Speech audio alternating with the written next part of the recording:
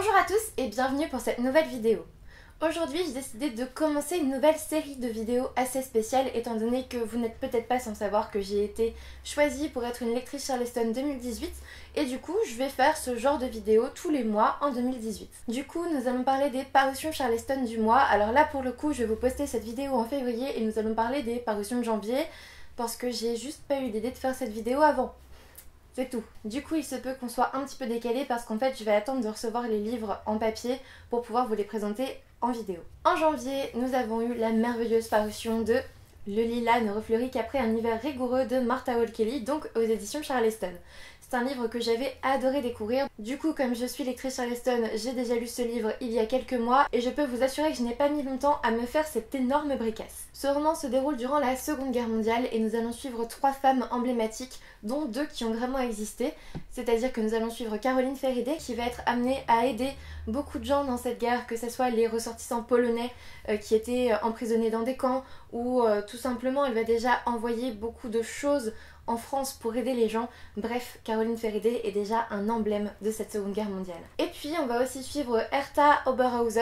Alors j'espère que je le dis bien parce que j'ai pas fait allemand en seconde langue, mais en tout cas Hertha, elle, c'est un personnage aussi emblématique, mais dans l'autre sens. Elle, évidemment, elle va être nazie et euh, je peux vous assurer que quand on la suit, on tremble un petit peu. Et puis ensuite, la troisième jeune femme que l'on va suivre, c'est une polonaise qui va être emmenée dans un camp après l'invasion de son village et voilà, cette polonaise n'a pas réellement existé au niveau de son nom, mais elle représente beaucoup de polonaises dans ce cas-là. Et du coup, c'est sûrement ce qui m'a fait beaucoup aimer ce livre parce qu'il tremble de faits réels, il est débordant de réalité. Alors oui, euh, il est assez dur à lire parfois parce que bah on sait que ça a existé en fait. Alors bien sûr c'est un roman donc il y a un petit peu de fiction dans tout ça, mais n'empêche que c'est basé sur des faits réels et c'est sûrement ce qui fait toute la différence. Je dois dire que j'ai été vraiment surprise à la lecture de ce livre parce que je m'attendais vraiment pas à ça. Il est un petit peu lourd là.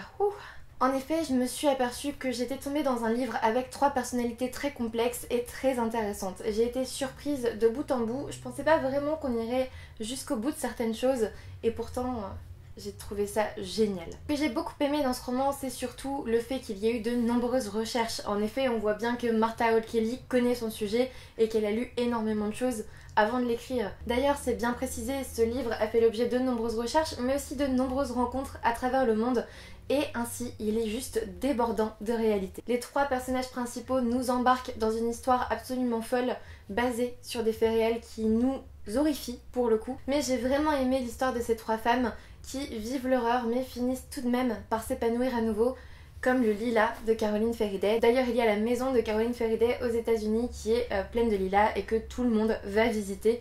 J'avoue que si j'ai l'occasion, j'aimerais bien aller y faire un tour. Ensuite, je vais vous parler de Fille de Bohème de Vania Prates qui est sorti aussi en janvier aux éditions Charleston. Dans ce livre, nous allons suivre Mélissandre, appelée Mélie, qui va voir toute sa vie basculer en fait grâce à une soirée entre amis. Lors de cette soirée, elle va rencontrer une euh, dame qui fait de l'hypnose et qui va lui proposer d'être hypnotisée parce que bah, Mélissandre semble très dubitative devant ses pratiques. Au début, il ne va pas se passer grand chose et pourtant, Mélissandre, qui avait une vie bien rangée, bien posée, bien comme il faut, va changer du tout au tout. La raison à cela, ce sont les rêves qu'elle va faire la nuit. Elle va rêver d'une certaine Evelyne qui est bohémienne à la cour des miracles. J'ai vraiment adoré voir l'évolution de Mélissandre grâce aux rêves d'Evelyne, de cette jeune fille pleine de vie et d'envie aussi tout simplement qui change vraiment de Mélissandre. Mélissandre a une vie beaucoup trop posée et voilà, elle fait tout comme il faut, tout comme il se doit, tout ce qu'on attend d'elle et euh, elle va un petit peu se rebeller. J'ai été totalement happée par ce récit et d'ailleurs j'ai vraiment adoré les chapitres que l'on pouvait passer à la cour des miracles au XVIIe siècle. Ce livre a été vraiment addictif pour moi. Il allie romance, suspense, enquête, bref, il y a un petit peu tout dans ce livre qui pourrait vous plaire. Ce que j'ai vraiment adoré c'est l'impact que les songes d'Evelyne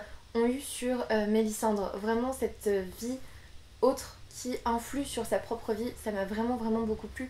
Il y a une sorte euh, de notion de développement personnel finalement dans ce livre et ça m'a vraiment vraiment beaucoup intéressé. En conclusion, je dirais que si vous êtes intéressé par les courses folles dans la cour des miracles de Paris au XVIIe siècle, vous devez absolument lire ce livre. Vous allez voir à quel point les songes peuvent changer une vie. Enfin, je vais vous parler de La dernière traversée de Caroline Pigna, sortie en janvier aux éditions Charleston. Cette fois-ci, l'histoire se déroule en 1914 et nous allons suivre Ellie qui a été un petit peu rejetée de sa famille et qui va embarquer sur l'Empress of Ireland. Sur ce bateau, elle va rencontrer Jim, Jim qui est un ouvrier en fait dans les fournaises Et bon alors je vous avoue qu'il y a eu un petit air de Titanic là-dedans, mais évidemment la dernière traversée, ça veut bien dire que l'Empress of Ireland va couler. Et du coup on va surtout suivre Ellie après cette catastrophe et découvrir ce naufrage via les récits d'après en fait, via ses souvenirs et via tout ce qu'elle va pouvoir lire. Ellie était totalement amoureuse de Jim et Jim malheureusement après le naufrage est porté disparu. On ne retrouve pas son corps, on ne sait pas où il est. Et l'histoire va vraiment commencer au moment où Ellie va rencontrer ce journaliste qui a retrouvé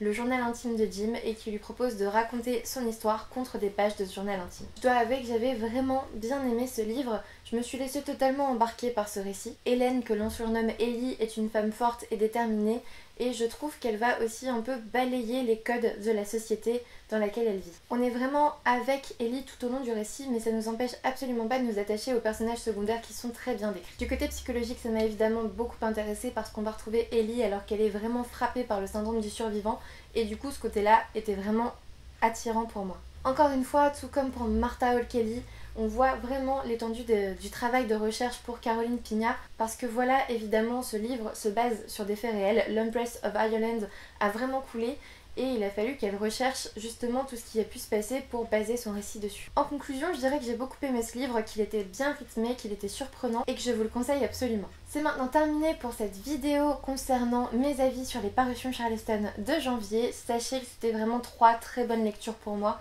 J'ai vraiment vraiment adoré lire ces livres l'an dernier. Et puis vu que vous êtes arrivé jusqu'à la fin de cette vidéo, alors déjà merci de m'avoir regardé jusqu'au bout.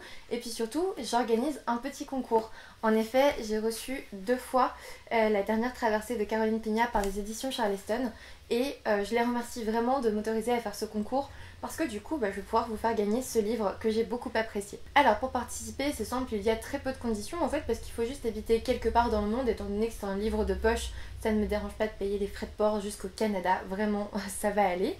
Et puis il faut euh, dire en commentaire que vous participez au concours et surtout remplir le formulaire de participation euh, tout en étant abonné à la chaîne bien sûr, ce concours n'est réservé qu'aux abonnés de la chaîne, là pour le coup euh, je trouve ça logique. Mais en tout cas n'oubliez pas de remplir le formulaire de participation parce que sinon ben, votre participation ne sera pas validée et vous ne pourrez pas être tiré au sort. Ce concours commence donc bien maintenant et il se termine le dimanche 25 février à minuit, donc n'hésitez pas à participer si ce livre vous intéresse. Bien sûr, si vous voulez en savoir davantage sur ces livres, j'ai rédigé des chroniques qui sont bien plus détaillées que mes avis en général en vidéo, que j'essaye de garder un petit peu concis. Donc n'hésitez pas à vous balader un peu sur le blog pour en savoir davantage. Cette vidéo est maintenant vraiment terminée. N'hésitez pas à mettre un petit pouce bleu de l'amour parce que clairement ça fait toujours plaisir. Un petit commentaire, surtout si vous participez au concours. Et puis moi je vous dis à bientôt pour une nouvelle vidéo.